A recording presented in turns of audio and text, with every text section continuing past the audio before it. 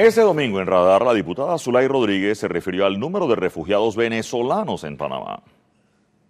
CNN señaló que aquí habían 146 mil refugiados venezolanos.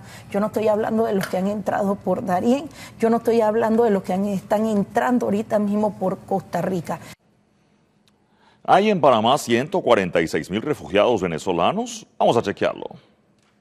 Un refugiado es aquella persona que huye de su país de origen debido a conflictos armados, persecuciones o falta de protección. No es lo mismo que un migrante, quien deja su país de origen voluntariamente por diversas razones. Para que una persona pueda ser reconocida como refugiada, debe pasar por un riguroso proceso de aplicación que dura mínimo dos años antes de ser aprobada o rechazada por el país que aspira le de protección. Menos del 5% de los que aplican logran el estatus de refugiado. En Panamá, según un informe de la OIM, hay 94.400 migrantes venezolanos.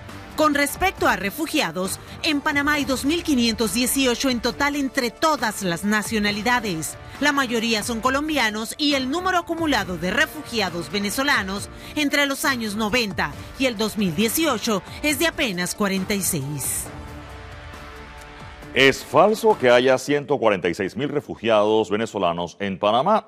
El número real es apenas 46, lo que representa un 0.03% de lo afirmado en la cita que hizo la diputada. Es por eso que la cita que hizo la diputada Zulay Rodríguez no pasa el chequeo.